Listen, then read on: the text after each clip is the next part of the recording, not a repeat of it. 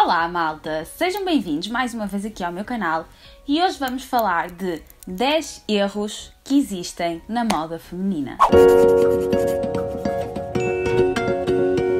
E se ainda não me conheces, seja bem-vindo aqui ao meu canal, subscreve, deixa o teu like e segue-me também pelo Instagram e bora lá para o vídeo. Eu decidi trazer o que para mim são 10 erros na moda feminina que eu vejo e fico do tipo Girl, Hum, não me julguem, mas eu sou assim. Eu estou constantemente, eu estou constantemente a criticar tudo o que vejo.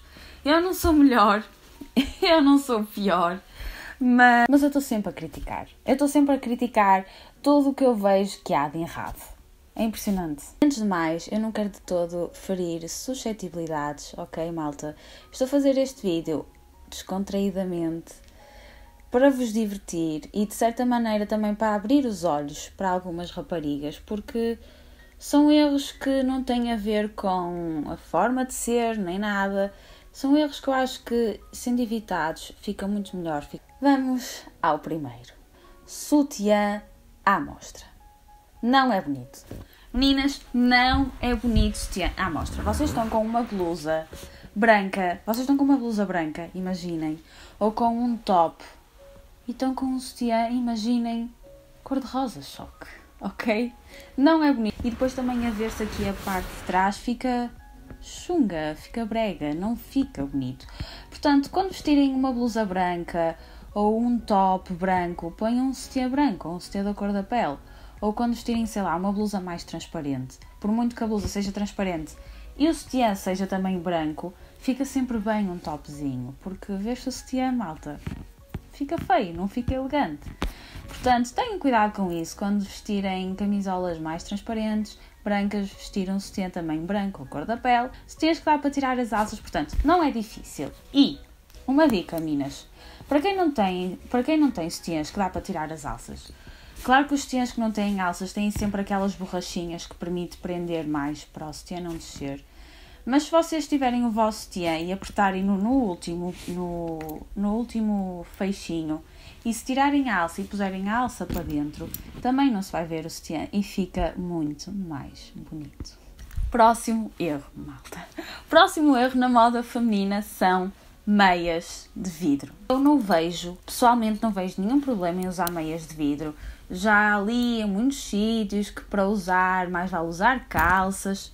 Eu acho que as meias de vidro são boas porque quem não gosta de algumas marcas que tenham nas pernas, até se, se, quisermos usar uma saia no inverno, meias de vidro dão sempre muito jeito, mas por favor, gente, que não se note as marcas das meias.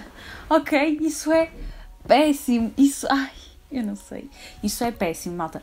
Agora, hoje em dia já há meias sem marca. Até já há meias sem marca na coxa, já há meias sem marca nos dedos. Portanto, não há necessidade nenhuma de vocês andarem com as meias de vidro, com uma saia, todas bonitas, e notar-se ali a marca. Percebem? Não há necessidade disso, por favor, não façam isso. Não. Meias que não sejam do vosso tom de pele. Ok, existem meias de vidro pretas, tudo bem, são meias de vidro pretas. Existem meias de vidro de muitas cores, tudo bem, são de muitas cores. Mas quando vocês querem usar meias de vidro para parecer que é a vossa pele, não vão usar nem 5 tons acima, nem 5 tons abaixo. Tentem encontrar um tom que seja relativamente igual ao da vossa pele. Next, girls! Não há necessidade de puxarem as calças até cá em cima e ver-se ali a racha, percebem? É que não há necessidade alguma de vocês puxarem as calças quase a fazer de macacão, percebem? É que só falta mesmo os suspensórios e ver-se ali a racha da passarinha, ok? Não faz sentido. Desculpem, mas para mim aquilo não faz sentido, não fica bonito vocês vestirem umas calças, sejam elas de ganga, leggings, jeggings, whatever, o que seja. A ver-se ali a passarinha, por amor de Deus. E se vocês querem uma dica para não se ver, ponham um penso, ok? Um penso higiênico. Se vocês, por exemplo, umas leggings. Quando se usa leggings, às vezes nem é preciso puxar tão até cá em cima que já se pode notar ali o, aquele corte. Podem então pôr um penso higiênico. Usar um crop, ok? Com calças de cintura baixa. As calças de cintura baixa já só por si são péssimas. Nada contra quem as usa, ok? Na minha opinião, são péssimas, são desconfortáveis, não nos favorece nada, muito menos usadas com um cropped. Uma parte de, cintura, uma parte de baixo de cintura baixa e uma parte de cima curtinha, gente, fica péssimo. Se vocês querem usar um crop, usem uma calça de cintura subida ou uma saia de cintura subida. Se vocês querem usar uma calça com uma cintura mais baixa, uma saia com uma cintura mais baixa, usem uma camisola que não seja um crop, que não seja curta. Roupa muito justa, com a roupa interior também muito apertada, porque a roupa interior apertada já faz por si só marca o corpo. Então, se vocês usarem, por exemplo, um vestido justo ou uma saia lápis e com a roupa interior apertada, vai-se notar, ok? vai-se notar as marcas da roupa interior e não fica bonito. Se vocês querem usar um vestido justo, não usem roupa interior muito apertada. Hoje em dia já existe cuecas sem costura, uh, não há necessidade de se usar um vestido justo, uma calça justa, uma leggings, por exemplo. Isso acontece mais com o tecido das leggings, sabem? existem também assim aqueles vestidos mais justos. Não há necessidade de se ver a marca da roupa interior. O próximo erro, e que agora está mais propício de acontecer, é misturar padrões. Não o façam. Se querem usar uma parte de cima com padrão, usem uma parte de baixo lisa. Ou se querem usar uma parte de baixo com padrão, usem uma parte de cima lisa. Ok, tudo bem, se for um macacão, são coisas à parte. Mas também, se vocês usarem um macacão com padrão, têm que usar uns sapatos lisos, uma carteira lisa. Mas agora não vamos misturar padrões. Não vamos misturar zebras com leopardos, cobras com leopardos. Não! Então, eu quando vejo alguém a passar na rua com leggings leopardo e o leopardo é de todas as cores e mais alguma e depois tem uma blusa, por exemplo, aos quadradinhos, eu fico tipo. Eu estou a falar de erros e estou a falar de uma forma mais descontraída, malta. Eu não quero de todo que me levem a mal, por favor, ok?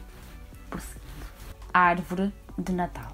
Isto quer dizer misturar acessórios com mais acessórios e por cima de acessórios fica. Imaginem vocês comprar um colar super bonito, comprar uns brincos super bonitos, mas se forem os dois extremamente exagerados, não vamos usar os dois ao mesmo tempo.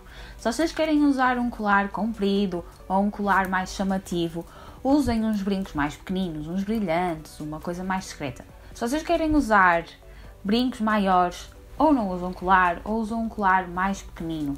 Mas agora não vamos estar com brincos, anéis, colares, pulseiras, tudo enorme, tudo às cores. Ok, não vamos fazer isso. Este erro vai um bocadinho ao encontro do que eu disse em primeiro lugar sobre usar um sutiã de cor com uma roupa mais clara. E este é usar calças brancas e roupa interior de cor.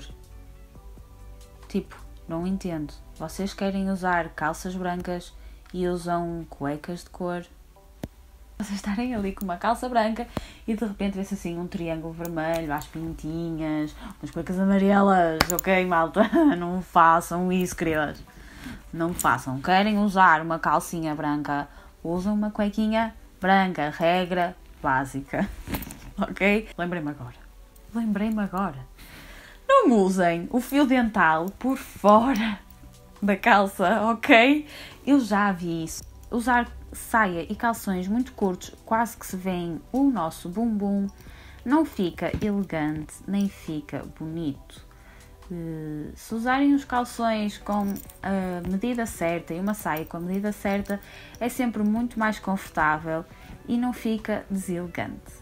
E o próximo e último erro, malta, é usar eh, aquelas camisolas que por si só já não se consegue usar sutiã para, porque ou têm as, costas, eh, têm as costas muito abertas ou têm um decote aqui à frente e isso até para sair à noite fica bastante bonito, umas costas bonitas decotadas, um decote aqui à frente também bonito, mas essas camisolas normalmente não nos permitem usar sutiã.